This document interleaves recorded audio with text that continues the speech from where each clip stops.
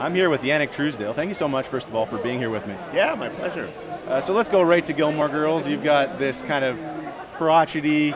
Uh, it's hard to almost describe you. You're very stoic faced in a sense. You're, you're, you're stoic is a good way. You know, you don't really crack a smile. Yeah.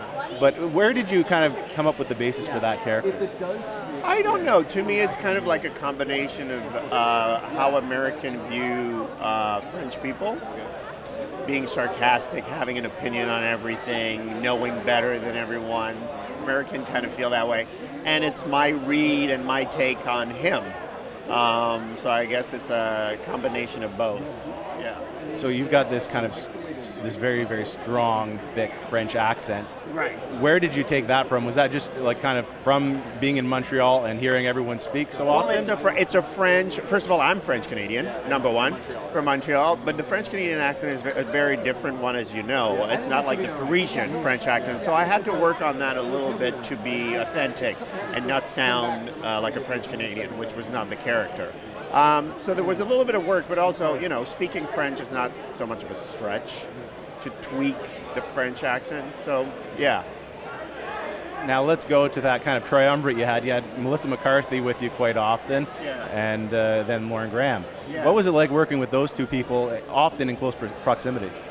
Oh, you mean back in the days or to go back to it? Oh, back in the day, I mean, they're both great, phenomenal actresses and they also became friends. So to work with people you love, to work with talented people is always a blessing.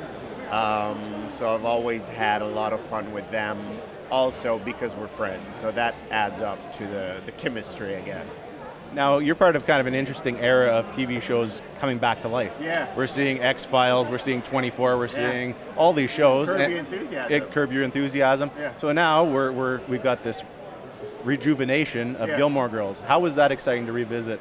Very exciting because it's something that rarely happens as an actor. When you're done with a part, you're done. You move on to the next project. You rarely have to, well, I mean, almost never have to go back to it. So, and to go back to a show that has is so loved and people have watched episode 10, 15, 20 times, so to have new episodes to give them uh, was great. I was happy to do it. I just happened to be watching TV last night, and the Swan episode was on. Oh, really? Oh my God, that's that's like season one. That's I want to say like it's like the third episode. You're correct. That is season Oh, one, is? episode three. Oh Do you have any specific memories of that? A lot of people reference that as one of kind of the great comedy scenes of, of the Oh, episode. oh, really? Um, I just remember, you know, the show was brand new, so I was just trying to figure out this guy. How would he react to the swan? What it meant to be afraid of the swan. Uh, yeah, I remember like when when you start something new, you're very focused, right? Because you want it, you're, you're searching. I remember that about the episode. Now let's go to one of your favorite films. Yes, we talked about it a little bit before. Whiplash, which is one of, but I it was just like a really strong, powerful story that really uh, connected with me uh, directly from the moment the movie started. I was in, and I checked out when it ended. so that's kind of rare.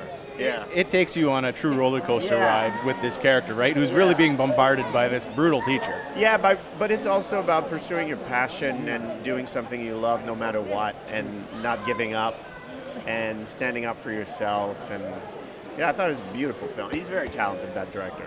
And Damien Chazelle, the director, actually did a wonderful job with La La Land, which had the same themes, right? Yeah, very much so. Well, anyway, thank you so much for doing this. You're welcome. Sure.